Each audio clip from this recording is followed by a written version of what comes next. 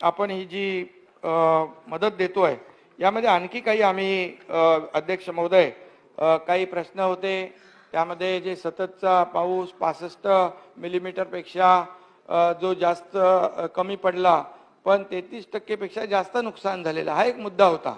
तर यामध्ये अध्यक्ष महोदय आम्ही असा निर्णय या ठिकाणी घेतोय.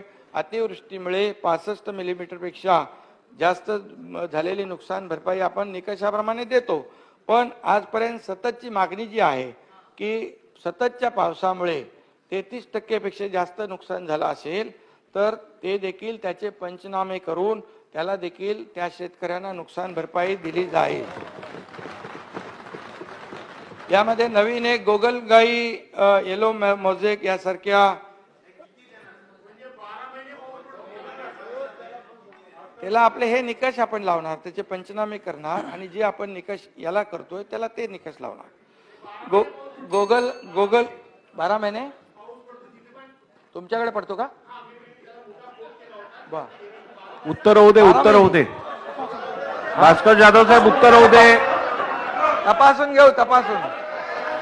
भास्करराव. उत्तर होऊ दे. तपासून घेऊ. तपासून घेऊया.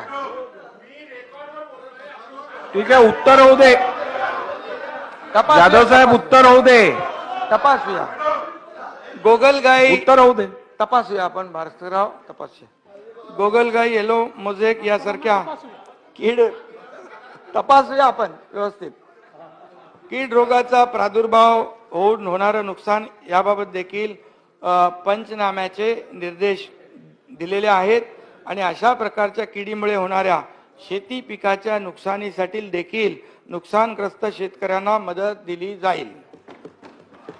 त्याचबरोबर झालेल्या पावसाचं व इतर हवामान विषयक बाबींचं जे मोजमाप करण्यासाठी यापूर्वी प्रत्येक चो दोन हजार चारशे महसूल मंडळात एक स्वयंचलित हवामान केंद्र उभारण्यात आलेले आहे. म्हणजे आपलं रेन गेज ती संख्या अपुरी असल्यामुळे या स्वयंचलित हवामान केंद्राची संख्या वाढवण्यात येईल.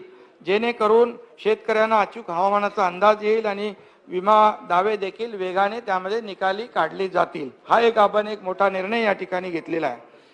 त्याचबरोबर मगाशी आपल्याला सांगितलं मी नुकसान भरपाईचं जे आपण एनडीआरएफच्या दुप्पट दिले आणि जे मी तक्ता सांगितला आपल्याला यामध्ये आणखी आपण एक बदल केलेला आहे. नैसर्गिक आपत्तीमुळे जे आपण तातडीची मदत देतो आकस्मिक जी पाच हजार रुपये जी म्हणजे कपडे भांडी कुंडी याचं जे नुकसान होतंय ती तातडीची मदत दादा आपण पाच हजारावरून पंधरा हजार रुपये देण्याचा निर्णय घेतलेला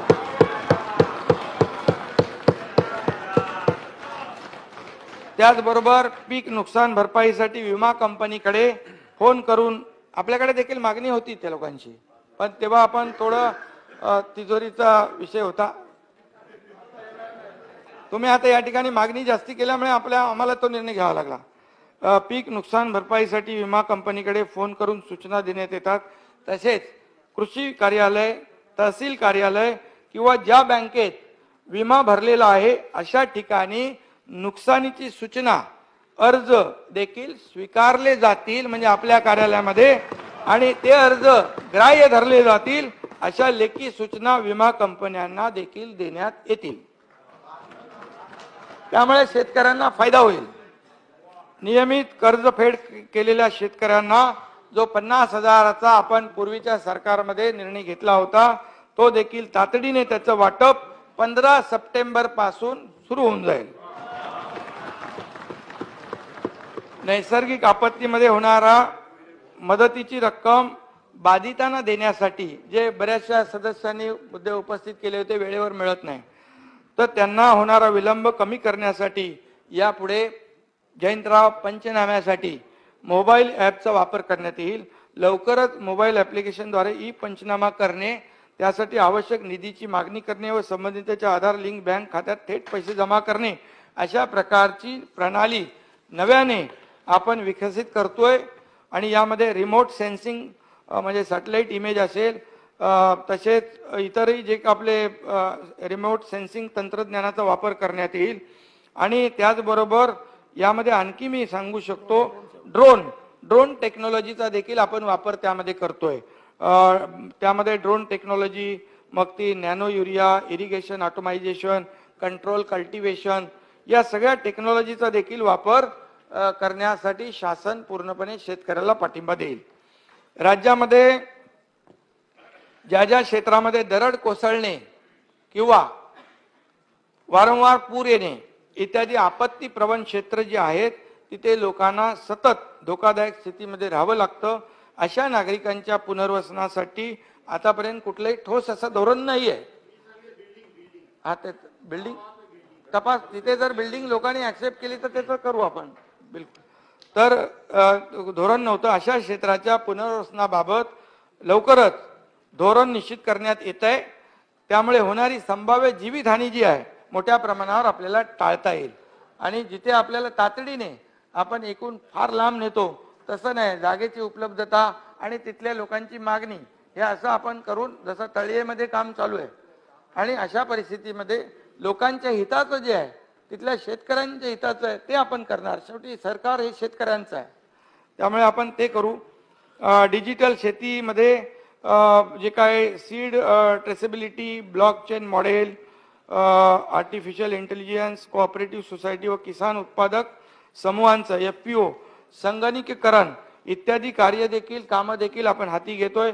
यामुळे उच्च दर्जाचं बियाण बियाणं आणि खतं जी आहेत शेतकऱ्यांना योग्य दरात मिळून त्यांचं उत्पन्न देखील वाढेल.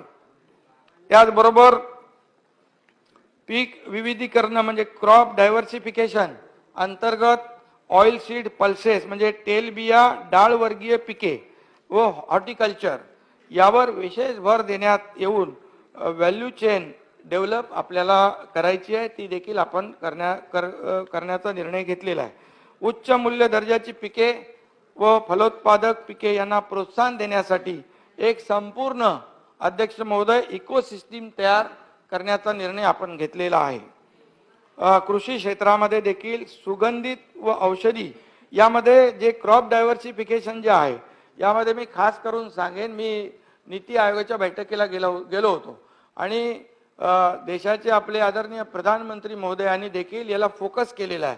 आणि जे आपण तेल आयात करतो एक लाख कोटी एवढ्या किमतीचं तर त्यामध्ये देखील आपल्याला ते इम्पोर्ट होतं आहे यापेक्षा आपण स्वतः आपलं उत्पादन करण्यावर भर द्या.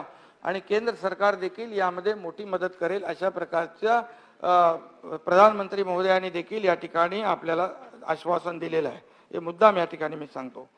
तर कृषी क्षेत्रामध्ये सुगंधित व औषधी वनस्पतीची लागवड जी आहे व उत्पादन करण्यासाठी त्यांना योग्य त्या सुविधा व सेंट्रल बरोबर जे काही बायोलॉजिकल जॉईंट व्हेंचर म्हणजे सहजीवन साध्याचं जे काही काम आहे ते त्याची जी काही पद्धत आहे त्याच्यामध्ये आणखी आमूलाग्र बदल घडू घडून त्यामध्ये आपण जास्तीचा त्याचा एफर्ट्स घेऊ. असा देखील या ठिकाणी आपण निर्णय घेतला.